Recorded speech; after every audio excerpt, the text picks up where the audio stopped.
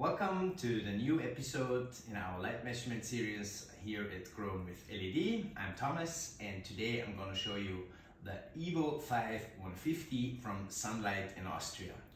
The Evo series is the brand new series of SANlight, the top manufacturer of LED lights in Europe. They provided us with the newest light and in order to measure this big one we will do the measurement in our big tent now in the Homebox Ambient Q150 plus. So in a tent that is 150 by 150 centimeters.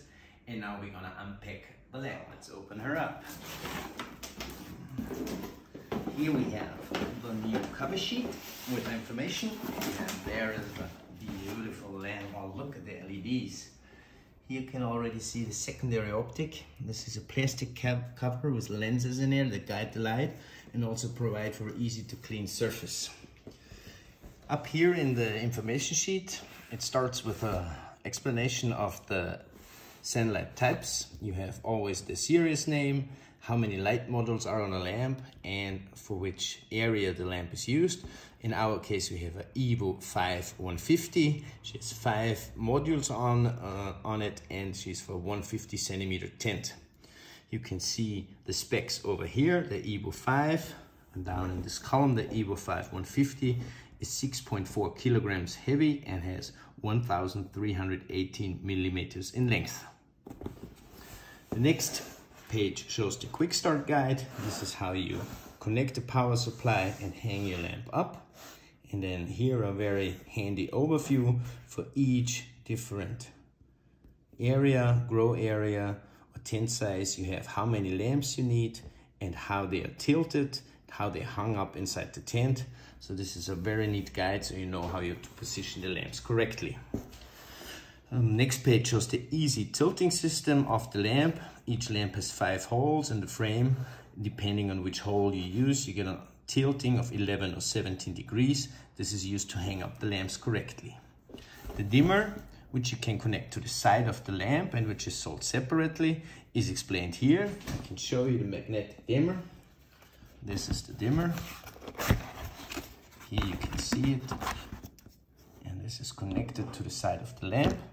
After it's connected, you use this little magnetic key to tap on the dimmer to regulate the dim level and with the other side to activate or deactivate the sunrise fade. Next on the page is the daisy chaining concept. This is how you use only one power cord with the edge connector to connect multiple lamps to it. Here we have the edge connector. You take your power cable here connected to the entrance of the edge connector. Check. Now we have three outlets to connect our lamp connection cables. They look like this. And now I take one and two and check. And we have connected our edge connector and now can supply two lamps with one power cord. Here on the very last page, you can see the different components. The edge connector just showed you and the lamp connection cables and the dimmer. All this is sold separately and you can buy whatever you need for your individual situation. Down here we also have interesting links. The link to the operational manual, to the care instructions and to the online shop of SANlight. On the very last page, uh, we have a nice overview. SANlight is using Seoul and Osram LEDs. She's IP65 protected, has passive cooling, maximum homogeneity. She's easy to tilt and she has the secondary optics, which I explained in the beginning. So let's get her out of the curtain. And here we have this beauty. Oh, she's heavier as she looks, built very sturdy. I like the aluminum body. She looks a little bit like a spaceship. You can see here the five holes on the frame for the easy tilting system. On the side you have the connectors for the dimmer and the power supply. And then you can see on this side, this is the secondary optics. This is the cover that protects you, that you can clean your LEDs without hurting them. And at the same time, there's lenses that guide your light. A very nice lamp. I think it's great how it looks, great how it's built. And now let's hang her up inside our tent and measure her. after we have unpacked the lamp, we now have hung her up in the setup SANlight recommends.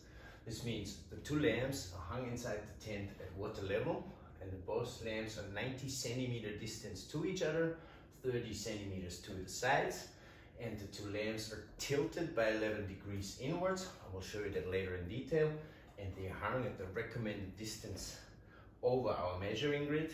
The recommended distance is 50 centimeters and since we have the sensor in a height of 3 centimeters, we have made it 53 centimeters exactly where the lamp is hanging above our measuring grid and now we let it run stationary and then we do a power measurement and a light measurement. Here from the side view you can exactly see how the easy tilt system of the SANlight Evo works. We have here five holes in the frame.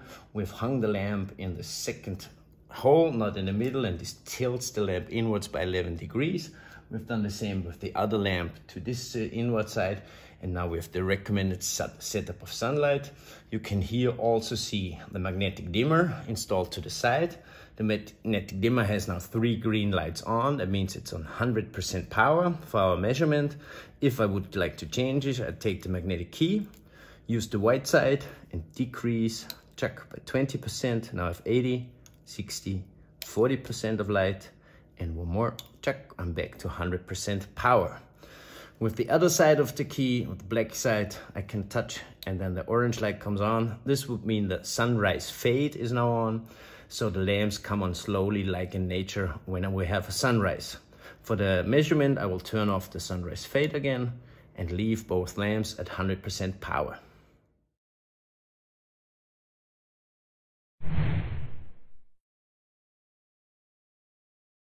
Video of the power measurement of the Evo 5 150, two fixtures inside a 150 centimeter tent. At this moment, the two fixtures have uh, 234 volts and draw a current of 2.81 amps. And this means they use a power of 648.5 watts, 649 watts, and 657.9 volt amperes at a cosinus phi factor of 0.98. Here you can see the light plot of our measurement of two Evo 5 150 in a 150 centimeter tent. We hung the two fixtures at 90 centimeter distance to each other, that means 30 centimeters to the walls, and both lamps are tilted inwards by 11 degrees. The measurement distance was 50 centimeters, that's the distance from the sensor to the fixture. The measured area is 150 by 150 centimeter. The measured power consumption here was 649 watt. The BPFD sum is 160,227 micromole per square meter per second. The BPFD average is 712. The BPFD per watt is 1.10 micromole per joule. The BPFD minimum value is 465 and is in the upper right corner. The BPFD maximum value is 831 and is in the upper right quadrant in the middle. The homogeneity here, which is astounding, is 0.65. This is the best homogeneity we have measured until now in a 150 centimeter tent. That's fantastic. And the inhomogeneity calculates to 0.56. As I can see it here, with all those high light values, you can easily replace a 1000 watt HPS inside a 150 centimeter tent with those two SANlight Evo 5 150 lamps. So although they're only using 650 watts of power, you can easily replace a 1000 watt HPS with them. Fantastic. I hope you had as much fun as I did with this episode and you like the result of our measurement. Next time we're gonna measure the Evo 5 150 again, but this time three of those lamps in this 150 centimeter tent and then let's see how the results come out then. See you next time. Aloha.